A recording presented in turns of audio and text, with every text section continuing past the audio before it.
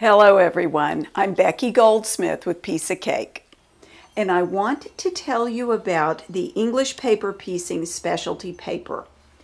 Inside each package you will find 25 blank sheets of a cardstock that is uh, the perfect weight for English paper piecing.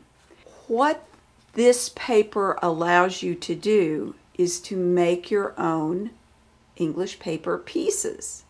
You can cut all kinds of shapes with this using a rotary ruler and cutter. You can cut squares and rectangles and triangles and diamonds and all kinds of things in the size you want.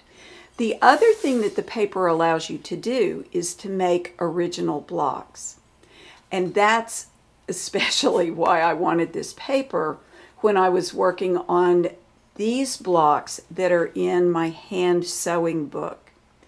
Each one of these blocks is an original design. There were no pre-cut papers.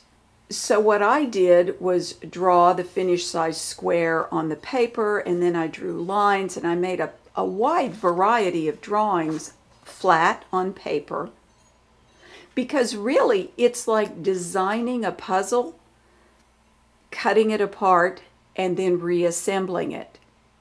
Two things, if you do design your own, never cut up your original and make sure that you number the pieces in such a way that you know how they're going to fit together.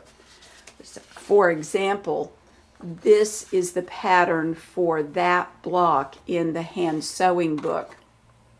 And there are numbers on it that tell me how the block goes back together once you have your design on the paper and you've made copies of it onto the um, specialty paper, you can cut it apart either with a rotary cutter and ruler or with scissors.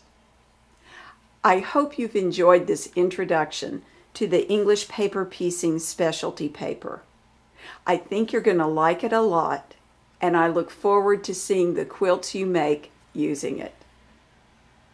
May you have many happy stitches. Thanks for watching.